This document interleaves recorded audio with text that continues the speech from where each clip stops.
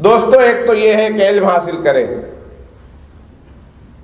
गौर से सुनिएगा, बहुत सारे मुसलमान ऐसे हैं जिनको पता ही नहीं कि वो कौन कौन से अमाल हैं जो ज़िंदगी में मैं कर सकता हूँ, जिसकी वजह से मैं अल्लाह सुबहान तआला की रजा और जन्नत का मुस्तक बन जाऊँ। और यकीन कीजिए, वो बहुत आसान अमाल है, लेकिन चूँकि इल्म हासिल नहीं किया है, कर भी सकता है, लेकिन चूँकि इल्म नहीं है, इलम हासिल किया ही नहीं है, मालूम ही नहीं है, इसलिए वो भला मौाक़े आते भी हैं, लेकिन पता नहीं चुप करके गुजर जाता है, उसे पता होता, काश तो वो फिर इस पर अमल कर लेता, ताकि वो अमाल उसे अल्लाह की रहमत से जन्नत में ले जाने का सबब बन जाते। लेकिन उसने इस तरफ़ ध्यान नहीं दिया। नतीजा ये है कि जन्नत में ले जाने वाले अमाल से इंसान काफ़ी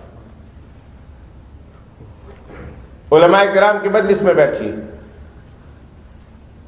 वो अमाल इनसे पूछिए रोज़ाना की बुनियाद पर नहीं, हर हफ़्ते की बुनियाद पर। अपने इमाम साहब के पास आइए और आकर इमाम साहब से पूछिए, अपने बुज़ुर्गों के पास जाइए और जाकर उनसे पूछिए, हजूर आज कोई एक ऐसा नया अमल बता दीजिए कि ताकि मैं उस अमल को अपनी ज़िंदगी में दाखिल करूँ, उस अमल पर मैं अमल कर लूँ, ताकि मैं जन्नत के और करीब हो जाऊँ, अल्लाह की जन्नत का मैं मुस्तक बन जाऊँ, अल्लाह की रजा का मैं मुस्तक बन जाऊँ। हर हफ़्ते नया अमल सीखिए और इस तरह अपनी मालूम में इजाफा कीजिए, यकीन कीजिए, वो बहुत सारे अहादी से पाक में अमाल है कि जिन अमाल की बदौलत अल्लाह सुबहान उसके लिए जन्नत में दाखिला आसान फरमा बैठे हुए साहब कराम रिजवान मेरे और आपके आका जनाब रसूल खिदमत में हाजिर होते थे और हाजिर होकर जो सवाल करते थे, मिन जुमला उन सवालों में से एक ऐसा सवाल था, या रसूल ऐसा अमल बता दीजिए कि जिसकी वजह से अल्लाह मुझे जन्नत में दाखिला आसान करना कितने हम से ऐसे बैठे हुए। मुझ समेत किसी को शर्मिंदा करना मकसूद नहीं है। लेकिन वो पूछ ले, अपने तय सोच ले, अपने गरीबान में झाँक कर देख ले, वो कितनी मरतबा हम ओलमा के पास गए हैं। उन्होंने सुना दिया तो शायद हमने सुन लिया होगा, लेकिन क्या हम अपनी तरफ़ से कभी चलकर उनके पास गए हो? और हमने जाकर उनसे कहा, मौलाना, हज़रत जी, इमाम साहब, एक मसला बयान कर दीजिए, एक हदीस ऐसी बता दीजिए, एक अमल ऐसा बता दीजिए कि जिस पर अमल करने से अल्लाह मेरे लिए जन्नत का दाखिला हदीस पाक भरी पड़ी है। ने किताबें लिखी हैं। उन आमाल की, जिन आमाल के करने पर अल्लाह जन्नत आसान फरमा देते, जन्नत अता फरमा देते। कभी इनको भी तो मौका दीजिए।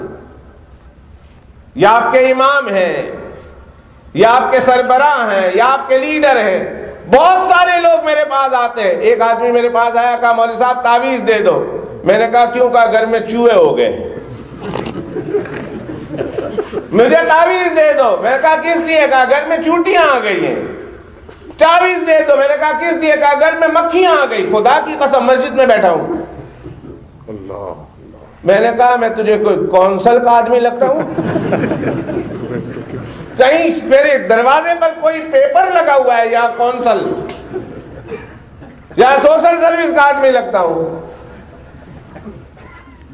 कुत्ते आ जाते हैं। एक आदमी तो अल्लाह के घर बैठा हूँ उसकी ने मुर्गी रखी हुई थी। तो पता नहीं फॉक्स आ जाते ये तो आपकी शायर तो फॉक्स शायर कहलाता है। यहाँ तो बहुत ज़्यादा फॉक्स है। अब तो ये फॉक्स अल्हम्दुलिल्लाह, हमारे यहाँ भी आ गए नॉर्थ में। और सुनते थे फॉक्स तो बड़ा डरपोक होता है। अब तो सामने खड़ा हो जाता है। इसने भी कड़ी खा ली है। खड़े हो जाता है, भागता भी नहीं। उसके घर में उसने चूजे पाले हुए थे। चूजे ले जाता है कभी एक, कभी दो, एक दिन आ गया, कहने का मौली साहब, फॉक्स हमारे घर में आते हैं, कोई तावीज दे दो ताकि फॉक्स ना आए। मैंने कहा, हमारे इस बरी के फॉक्स जो है, पढ़े लिखे नहीं तावीज तो मैं तुम्हें दे देता, लेकिन पढ़े लिखे होते मैंने कहा, अभी अभी इमिग्रेंट हुए हैं, ये पढ़े लिखे नहीं है। ये रोमानियन जानते हैं, या हंगेरियन जानते हैं, इंग्लिश नहीं जानते, अरबिन जानते ये जब पढ़ लेंगे, फिर आके ले जाना।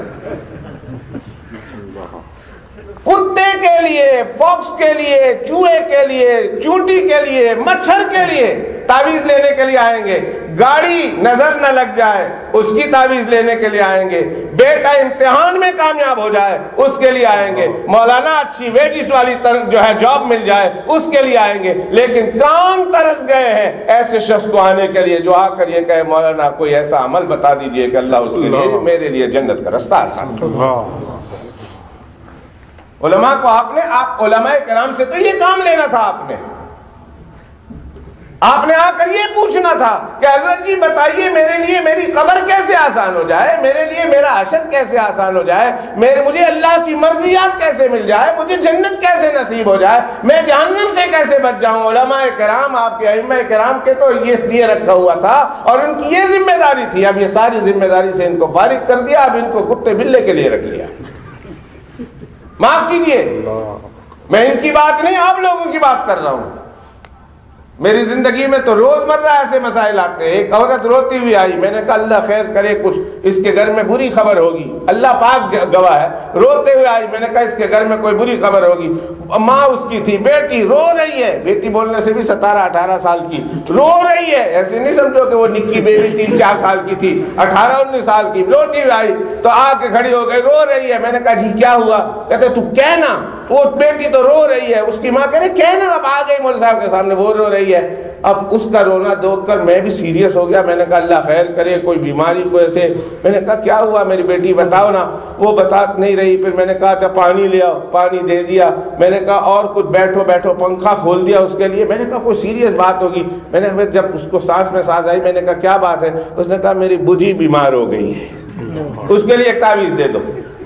बुझी, छोटा सा परिंदा चिड़िया। उसकी ताबीज वो रो रही, उसने पाला हुआ था, वो बीमार हो गए उसकी ताबीज लेने के लिए। आप हंस रहे हैं, आप लोग यही काम कर रहे हैं भाई।